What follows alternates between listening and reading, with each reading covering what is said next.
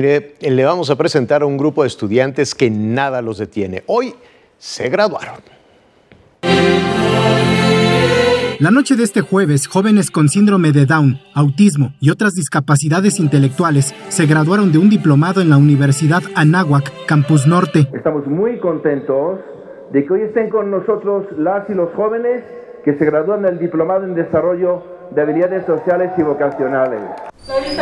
Durante tres años se prepararon para adquirir los conocimientos profesionales a fin de iniciar su vida laboral sin que su discapacidad los limite. Me hicieron la entrevista, me aceptaron y estoy muy feliz de estar aquí.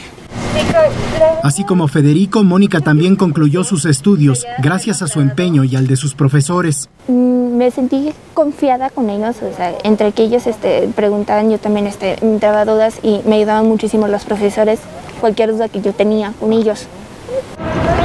Ana Paula no habla por su autismo, pero el diplomado le ayudó, entre otras cosas, a comunicarse de otra manera. ¿Qué te gustaría hacer?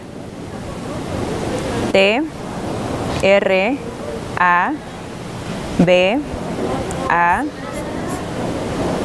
J, A, trabajar. La Universidad Anáhuac ha sido la plataforma estudiantil para miles de jóvenes y le ha dado inclusión a aquellos que quieren salir adelante aún con su discapacidad.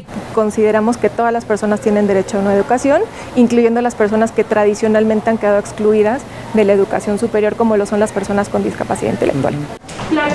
Lo más valioso de este diplomado es que sus alumnos tienen la oportunidad de estudiar aquello a lo que se quieren dedicar. La universidad tiene más de 40 licenciaturas y ellos pueden elegir este, tomar materias de estas 40 licenciaturas que se acerquen más a lo que ellos les gusta y para, que ellos, para lo que ellos son buenos. En ocasiones corrían para no llegar tarde. Este programa de estudios inició en 2010 y hasta el día de hoy se han graduado 70 jóvenes con discapacidad intelectual.